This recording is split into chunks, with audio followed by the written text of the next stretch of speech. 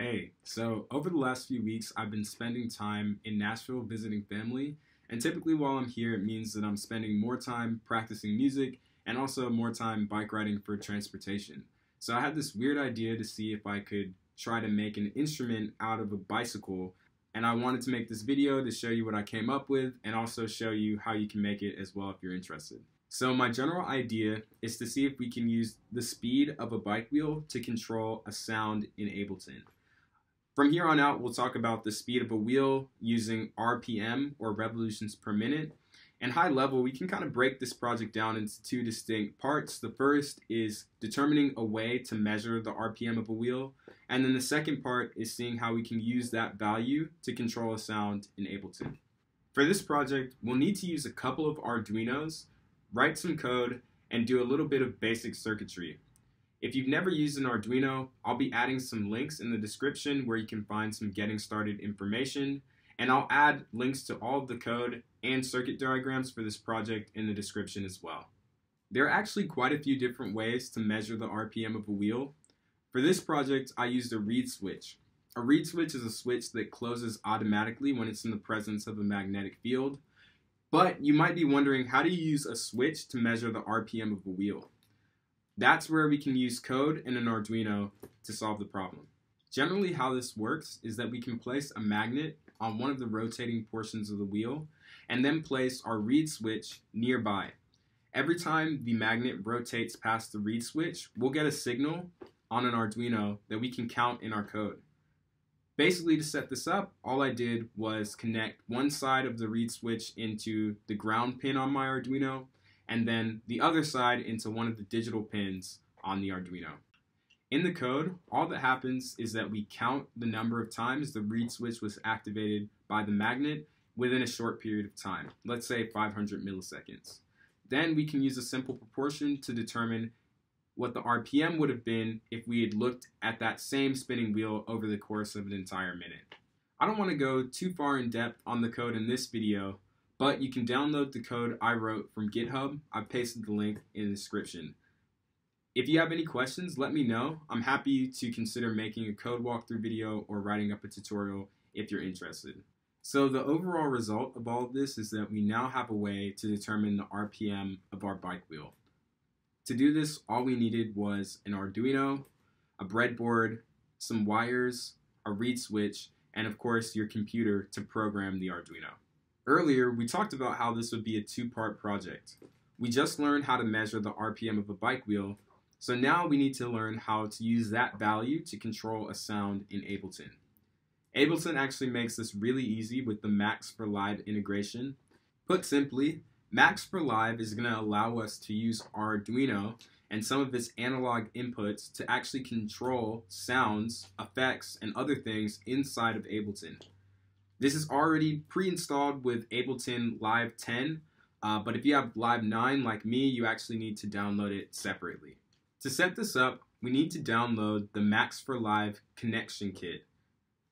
Inside of it, there's a folder specifically focused on Arduinos, and we need to open up the StandardFirmata Arduino sketch and load that onto a new Arduino. So we had an Arduino for the measuring RPM portion of the project, meaning the second Arduino for this portion of the project. I typically delete everything in the session view until I just have one audio track. From there, we can go back to the folder we got from Connection Kit and open the arduino.amxd file just by double clicking it. Once you do that, you'll see a new Arduino specific unit pop up in the effects pane for your audio track. Make sure to select the correct port from the port dropdown you should select the USB port connected to the Arduino that you programmed with Connection Kit standard firm data. From here, we can map analog input pins on the Arduino to specific effect controls in Ableton like so. What we've essentially done is take the signal coming in from the zero pin in the analog input section of the Arduino, otherwise referred to as A0, and use that to control the amount value for our frequency shifter. So the hardest part of this project is actually just gluing it all together, which honestly seems to be the hardest part of any project. In this project, we had two subsystems, one for measuring the RPM of a bike wheel, and the other for allowing an analog signal to control an effect value in Ableton. So now we just need to piece it together by allowing our RPM measurement from the bike wheel to be the analog signal that's controlling the effects we have in Ableton. In the code we wrote to measure the RPM of our bike wheel, I added a line that outputs an analog signal corresponding to the RPM. Essentially, if the wheel is going faster, the signal is higher. We're going to want to take that analog signal and connect it to the analog input on our Arduino that's connected to Ableton.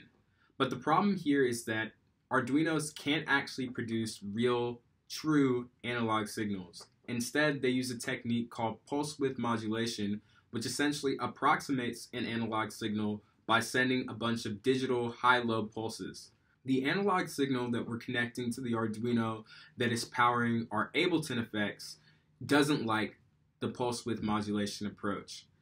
It'll essentially read it as a bunch of high, low digital pulses and actually just send all of our effects to max and back to zero every few milliseconds. So it won't sound like we want it to sound. To fix this, we need a way to take those pulse width modulation pulses and smooth them out into a more regular analog signal that can be correctly interpreted by our Arduino for Ableton.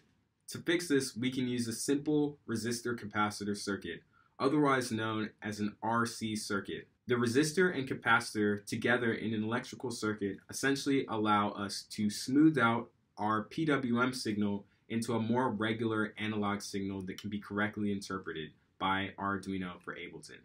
Let's go over the full circuit for this project to show you how everything hooks up. We have our simple reed switch circuit from before, but now we've added a new circuit for smoothing out our PWM signal. I take the PWM signal representing our analog RPM signal and run that through a resistor capacitor circuit. I used a 10 k ohm resistor and a 47 microfarad capacitor for this project but you can play around with the values if you'd like to. You can see that all of the orange wire corresponds to the PWM signal that has not yet been smoothed, but after we put it through the RC circuit, we have green wiring representing the smoothed analog RPM signal that we can plug into the A0 pin on the Arduino that is connected to Ableton.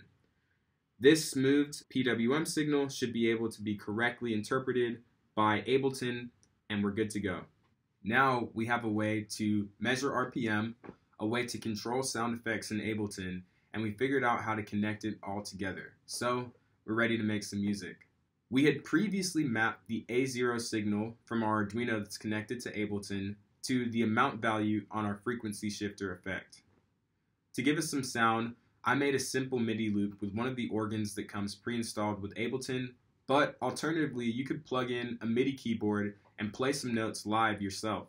So for the second part of this project, overall, all we needed was an Arduino, a breadboard, a resistor, a capacitor, some more wires, and of course we used our computer to program our second Arduino as well. So here's what it sounds like all together.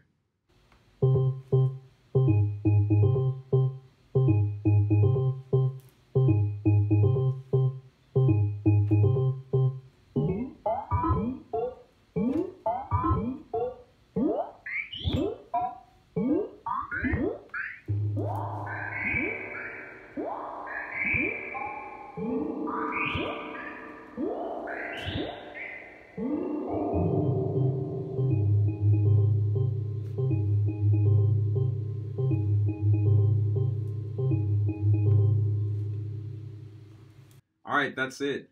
Thanks a lot for watching my first tutorial YouTube video. This has been really exciting. In the description, I'll link to some further reading on some of the topics that I talked about if you're not familiar. And if you do try out this project and you run into any problems, feel free to reach out to me on Instagram, Twitter, or in the YouTube comments. Uh, I'll be really, really happy to help out, and I'm excited to see what you all make.